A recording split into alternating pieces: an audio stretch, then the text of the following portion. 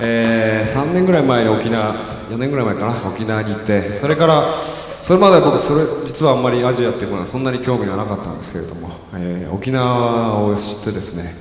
えー、すごくやっぱりもっとアジアのことを知りたいと、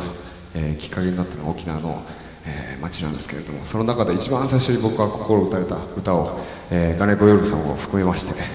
えー、お届けしたいと思うんですけれどもこの歌は沖縄ではみんな誰でも歌える歌ですよね。そうですね。これを知らないのはもぐりでしょうか、えー、もぐりだそうです。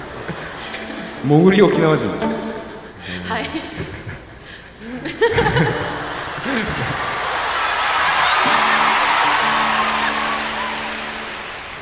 美しいでしょこの着物。着物だけ？これは着てらっしゃる方が美しいから美しいんですよ。それじゃあ、えー、もし知ってる人がいたら一緒に歌ってください。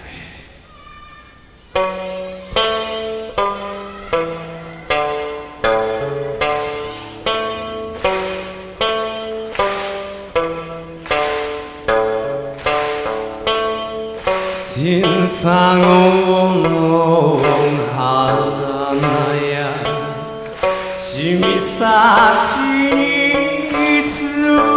みて親の友人やチムに住む